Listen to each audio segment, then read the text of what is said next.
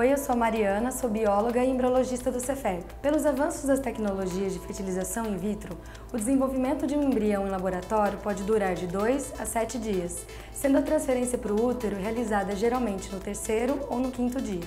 Só que nem sempre é fácil definir qual o melhor dia para a transferência, porque essa decisão deve levar em consideração vários fatores. A estratégia de se transferir em D5 baseia-se em uma melhor seleção embrionária, já que aguardamos um tempo maior de desenvolvimento para avaliar quais os embriões estão realmente saudáveis e conseguir atingir com crescimento normal o estágio de D5. Os embriões que não conseguiram chegar até D5, ou seja, que se degeneraram ou tiveram desenvolvimento anormal, provavelmente seriam aqueles embriões com alterações genéticas que resultariam em falha na implantação ou gravidez com posterior perda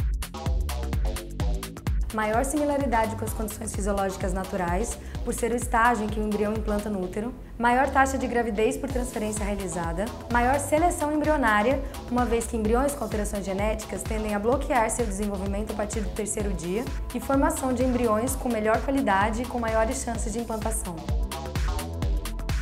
Menor número de embriões formados, já que em geral apenas 50% dos embriões conseguem chegar no quinto dia, menor número de transferências realizadas e maior probabilidade de cancelamento de transferência por ausência de embriões, e menor número de embriões congelados para futuras tentativas.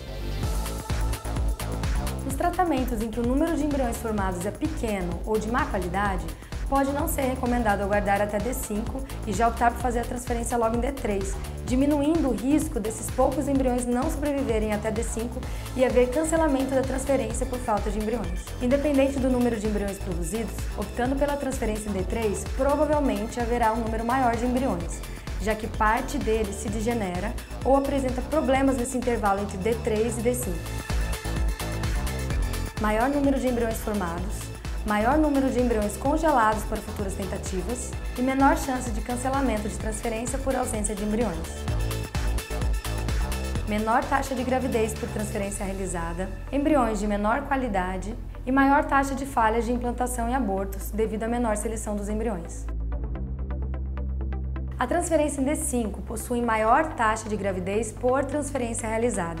Já a transferência em D3 apresenta maior taxa de gravidez cumulativa para o paciente, porque em D3 são congelados mais embriões excedentes para uma segunda ou terceira tentativa. Se o protocolo de uma clínica fosse apenas transferir em D5, a quantidade de pacientes que engravidariam cairia, porque muitas pacientes com poucos embriões não conseguiriam chegar até D5 para fazer a transferência. Menos mulheres seriam submetidas à possibilidade de gravidez e menos engravidariam.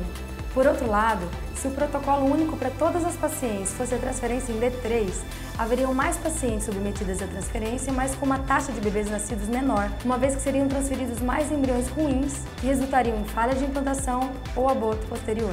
Muitos desses embriões ruins não teriam chegado ao estágio de D5 se fossem cultivados até lá, e poderiam ter reduzido a expectativa e o sentimento de luto do casal ao serem poupados de uma transferência que daria resultado negativo ou que culminaria em um aborto por problemas de desenvolvimento do embrião. Dessa forma, o fator que mais impacta na diferença entre as duas técnicas é o emocional. Transferindo em D3, mais mulheres passam por resultados negativos e perdas gestacionais, e transferindo em D5, mais mulheres podem ficar sem embriões para transferir. Por isso é muito importante que o serviço de reprodução humana ofereça ambas as possibilidades. Para os especialistas do Cefep, a melhor opção é avaliar a particularidade de cada paciente. Cada tratamento é único e toda estratégia deve ser discutida entre o médico, o casal e o embriologista responsável. Alguns fatores como idade da mulher, número e qualidade dos embriões formados, opção pela análise genética embrionária, ansiedade e expectativas do casal devem ser levados em consideração.